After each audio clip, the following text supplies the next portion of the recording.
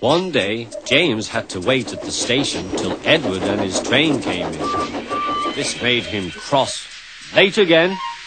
Edward laughed, and James fumed away.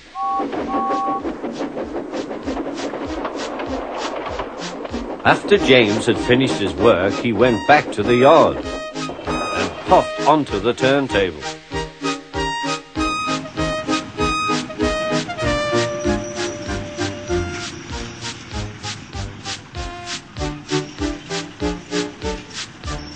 He was still feeling very bad-tempered. Edward is impossible, he grumbled to the others. He clanks about like a lot of old iron and he is so slow he makes us wait. Thomas and Percy were indignant. Old iron? Slow? Why, Edward could beat you in a race any day.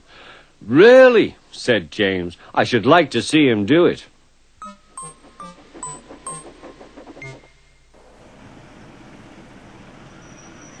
Next morning, James's driver was suddenly taken ill. He could hardly stand so the fireman uncoupled James ready for shunting. James was impatient. Suddenly the signalman shouted.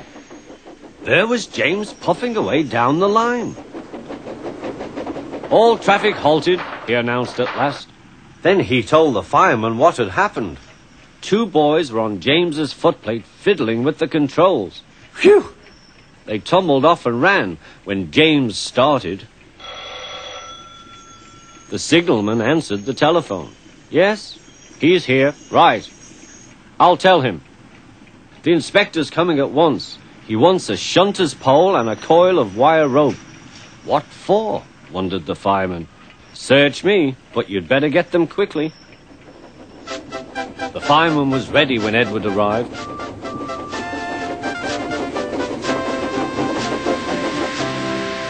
Inspector saw the pole and the rope Good man, jump in.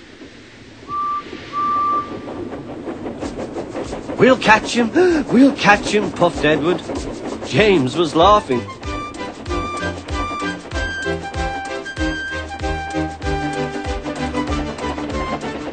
What a lark, what a lark, he chuckled to himself.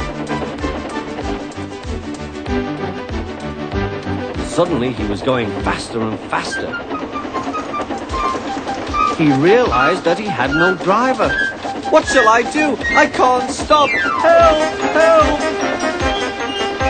We're coming! We're coming! called Edward.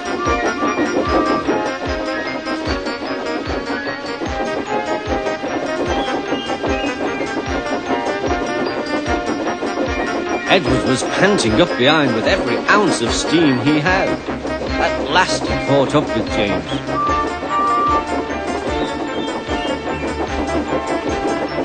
Steady, Edward, called his driver.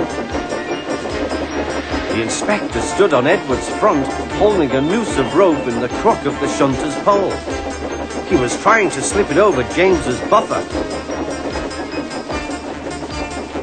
The engine swayed and lurched.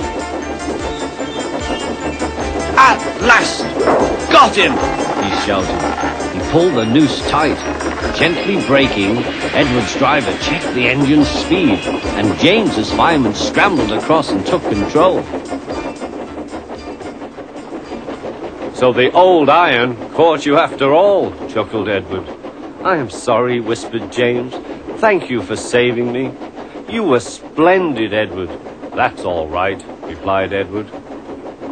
The engines arrived at the station side by side. The Fat Controller was waiting. A fine piece of work, he said. James, you can rest and then take your train.